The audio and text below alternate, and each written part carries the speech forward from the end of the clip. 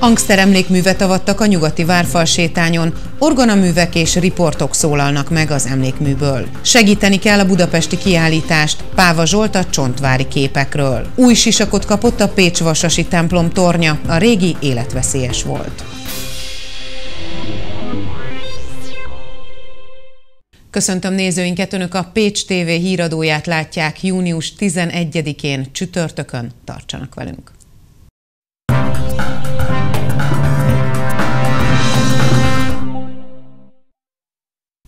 Angster emlékművet avattak a nyugati várfal sétányon csütörtökön. A történet érdekessége, hogy az orgonára emlékeztető alkotás az Angster családtag Bérci Zsófia tervei alapján készült. Az emlékműből orgonaművek és Angster riportok szólalnak meg. Még az alkotó is táncra perdült, amikor a felavatott Angster emlékműből orgona muzsika csendült fel.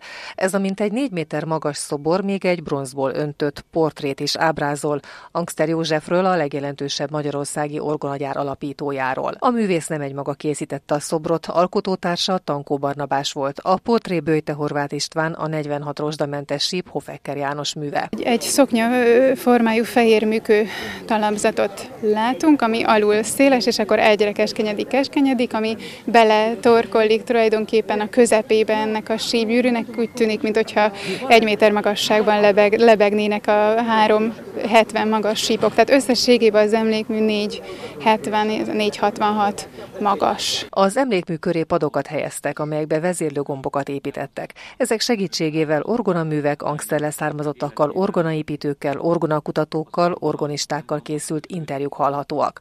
Az átadón Páva Zsolt elmondta, az orgonaépítő família nem csak hírnevet szerzett a városnak, de annak kulturális és gazdasági életét is jelentősen fellendítette. Érdekes összefüggés, hogy a művésznő, aki ezt állított, egy angster leszármazott, angster József unokájáról van szó, tehát ilyen módon a művészi alkotás, művészi ambíció találkozott egy nagyon érdekes családi kötődéssel, tehát ilyen módon a, az alkotásban nyilvánvaló ilyen elemeket is fel lehet fedezni, tehát ez egy nagyon-nagyon szép és nyilván egy véletlen, de jó összefüggés. Mintegy 150 évvel ezelőtt alapították az Angster orgonagyárat Pécset, amely termékeivel világhírűvé nőtte ki magát.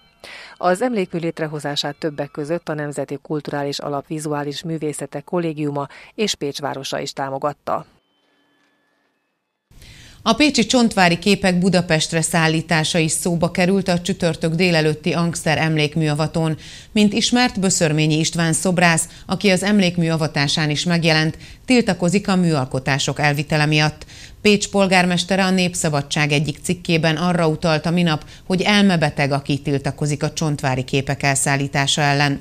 A tervek szerint július 5-én Budapesten a Honvéd főparancsnokság épületében Csontvári Kostka Tivadar teljes életművét bemutató kiállítás nyílik. A 97 kép egy részét Pécsről szállítják a fővárosba. Arra gondoltam, hogy létezik szolidaritás a világon, Magyarországon és azon kívül is, Pécset és azon kívül is arra gondoltam, hogy ha Debrecenben hasonlóképpen jártak volna, amikor a trilógiát elhozták Pécsre, akkor minden bizonyal ezt a nagyon fontos kulturális eseményt, ami történt 2010 ben 8 vagy 9 hónapon keresztül, akkor ezt nem tudjuk volna élvezni. Én erre utaltam, hogy lehet mindenben rosszat és csúnyát és negatívumot keresni, biztos sokan találnak is, de ne tegyék tönkre mások örömét, ezzel erre utaltam.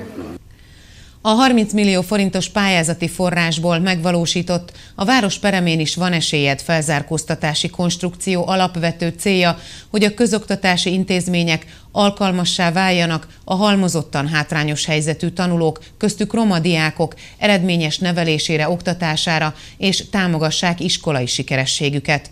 A nemrég befejezett a Város Peremén is van esélyed projekten kívül a határtalanul és további két testvériskolai program még fut a Néri Szent Fülöp Katolikus Általános Iskolában.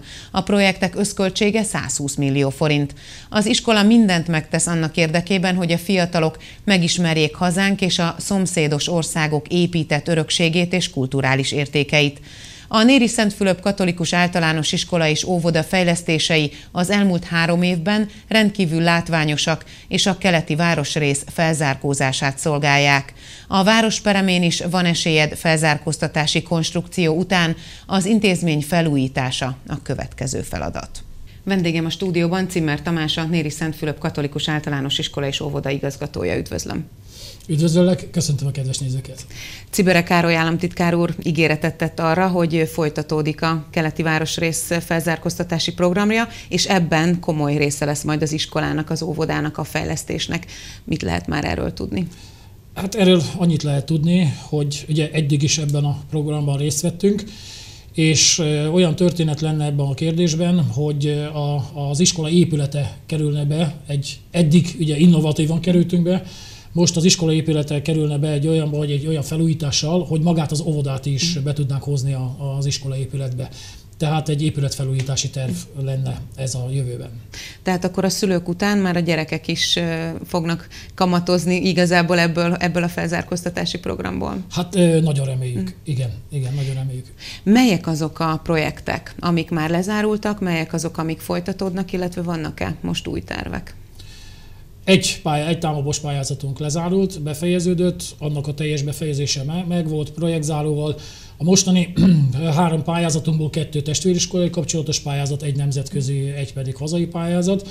A, a másik pályázat az pedig kimondottan arról szól, hogy eszközfejlesztések, tanári továbbképzések, illetve ebbe továbbra is benne vannak a gyerekeknek a belföldön lévő ö, utaztatása, Budapestre színházlátogatások, nemzeti parkok ö, megtekintése, erdei iskolák, tehát ez, ez befér bele a harmadik pályázat.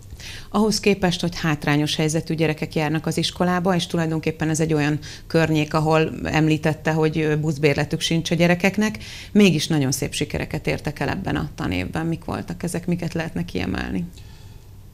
Hát sportolóitem először a sportot emelni, három sportákban is az iskolatanulói 85 fő az iskolatanulói országos döntőbe jutottak.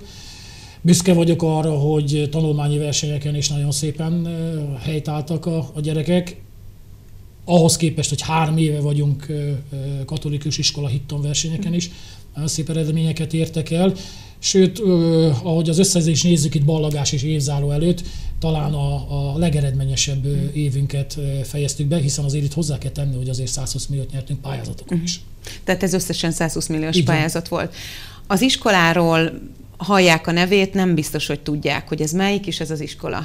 Mi volt a neve így az évek során? Több mint száz éves ugye az intézmény? Így van, 141. évét tapossa az intézmény, kisebb-nagyobb módosításokkal. Igen, ez valamikor a Szabolcsi iskola volt, állami díjas iskola volt a 80-as évek közepén, aztán lett Hősöktere iskola, aztán lett Csokonai Vitézmia iskola, Budai Városkapu iskola, és most három év volt a Néri Szent Fülöp Katolikus Általános Iskola és óvoda. Mi az, ami megváltozott ezek alatt az évek alatt? Az nagyon megváltozott, hogy a katolikus egyház csak az általános iskolát vette át, hiszen ugye köztudott, vagy nem, hogy ugye nálunk szakképzés volt, dolgozók általános iskolája volt, felzárkóztató program volt, tehát nagyon sok minden program volt. Az egyház úgy döntött, hogy csak, csak az általános iskolát, csak az ott lévő mm. gyerekeknek a támogatását folytatja, és ez, ez döntő volt, hiszen ki tudtunk lépni egy összevonásból, és ez megnyitotta azt a lehetőséget, hogy pályázni tudtunk. Mi is ki tudtunk menni a, kapukról, a kapukon kívül, és ez adta meg azt a lehetőséget, hogy ezeket az eredményeket elérhessük. Azt mondta, hogy 85-en járnak az iskolában, Igen. 85 fő. Hány pedagógus van az intézményben, illetve honnan kerülnek ki, mely területekről a gyerekek? Például a belvárosból járnak az iskolába? 85 gyerekünk van jelenleg, ugye 14 pedagógus foglalkozik a, a gyerekekkel. Szám szerint pontosan meg tudom adni az adatokat. Két, két gyerekünk van Uránvárosból, egy gyerekünk van Kertárosból ők mind a hárman a sport miatt vannak nálunk. Sajnos egyelőre egy, hogy a Néri Szentföldök iskolát még nagyon nem tudják hova helyezni, vagy aki gyermekét odahozná, még mindig megkérdezi tőlem, hogy Tamás, az egyéb iskolák ott vannak. A másik, amit nagyon nehezen tudunk szerintem levetközni, az maga a hősök tere. Kialakult egy, egy olyan elképzelés hősök teréről, ami elképzelés, és ugye perem mm. kerületnek nevezik, perem területnek, és akkor valahogy úgy lehet a köztudatban, hogy hát perem területen az ott, ott nem lehet más csak, és akkor ezt nem mondjuk végig. Hát nem így van. Azt hiszem bizonyítottuk. A felzárkóztatási programtól mit várnak, milyen eredményeket várnak? Szeretnénk azt elérni, hogy a kilépő gyerekeink akik, akik középiskolába mennek, majd később szülők lesznek, hogy lépjenek túl a szüleiken. Hiszen én nekem is, mint szülőnek az volt a célom, hogy a fiam több legyen, mint én, és talán, talán így, ha ezt már el tudjuk érni, akkor, akkor már, már, már tettünk egy nagy lépést afelé, ami most úgy érzem, hogy nem csak a mi problémánk, hanem országosan is probléma, hogy megoldani egy a, a, a, a cigányság helyzetét, a másik oldal az, hogy, hogy talán észreveszünk azt, hogy, hogy meg lehet élni azért tanulásból is. Milyen az arány a roma, nem roma gyerekek aránya az hát Most már talán el tudtuk érni a 70-30 százalékos arányt, de hozzáteszem, itt bármelyik gyerekről beszélünk, mindegyik gyerekünkre érvényes a, a, a, a hátrányos helyzet. Az épületek fejlesztésével, átalakításával, akár az óvoda átköltözésével mi a cél az iskolában? A cél, az egyik nagyon fontos cél az, hogy gazdaságilag rentábilis legyen az intézmény, mert nyilván akkor föl tudunk adni egy olyan épületet, amelyiknek nincs energiaköltsége. A másik pedig az, hogy hosszú távon, és ez pont Ciberkár államtitkár úrral beszéltük, hosszú távon egy olyan helyzetet szeretnénk teremteni, hogy elkezdjük a, a kisgyerekkel a foglalkozást 6 éves korba, 7 éves, 5 éves korba, és végigvisszük az általános iskolán keresztül, és az iskolának később már olyan szerepet szeretnénk szállni, hogy nem csak iskolaként működjön, hanem a területen egy kulturális centrum alakítsuk. Ez egy, egy épület felújítás során ez, ez bőven megvalósítható. Én köszönöm szépen Cimmer Tamásnak, hogy elfogadta a meghívásunkat, és bebizonyítják, hogy a tényleg a város peremén is van esélyük a gyerekeknek. Köszönöm szépen. Én is nagyon szépen köszönöm.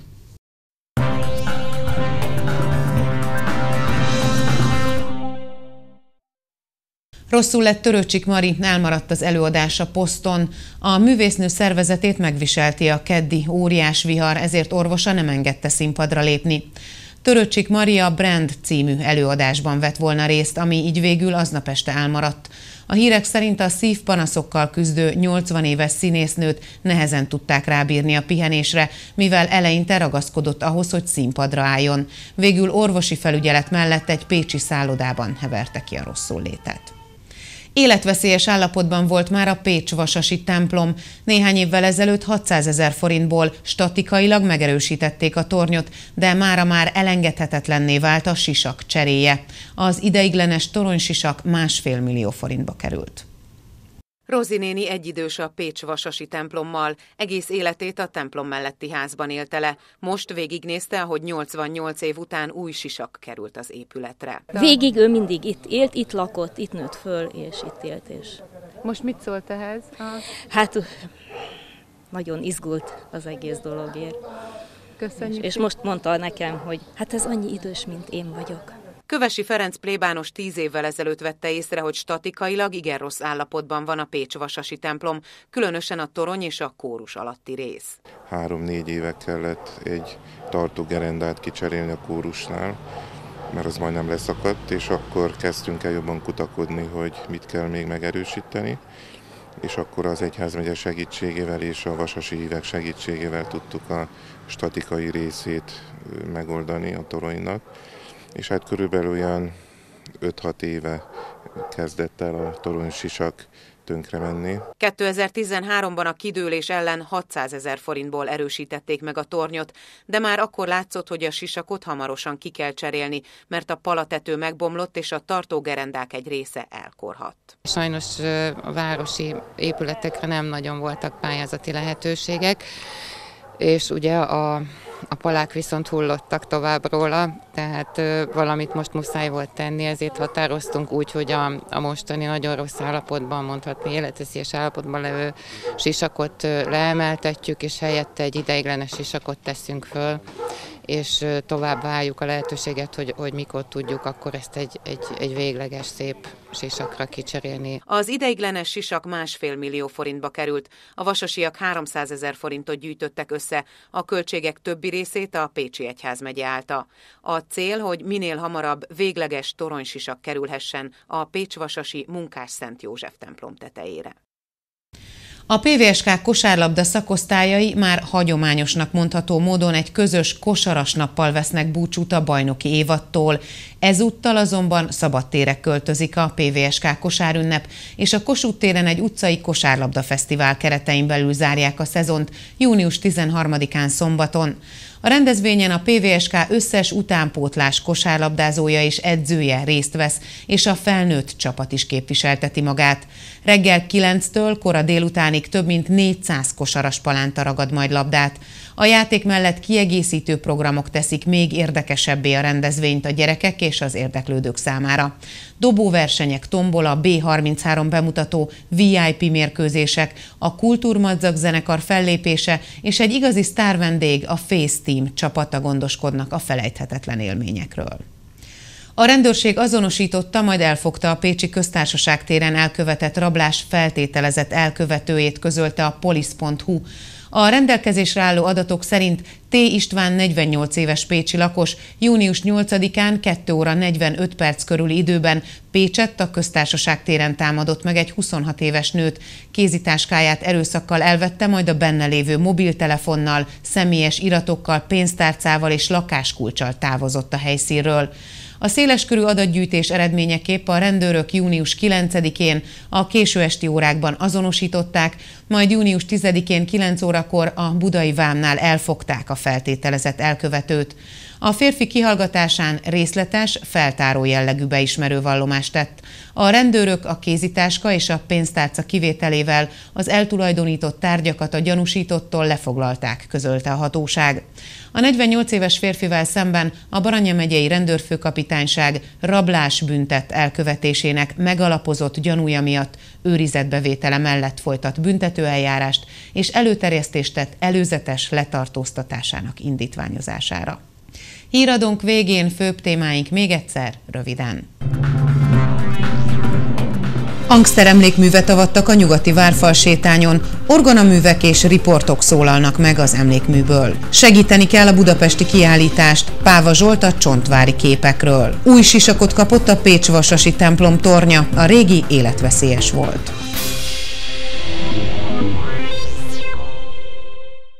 Önök a Pécs TV híradóját látták, kollégáim nevében is köszönöm figyelmüket, viszontlátásra!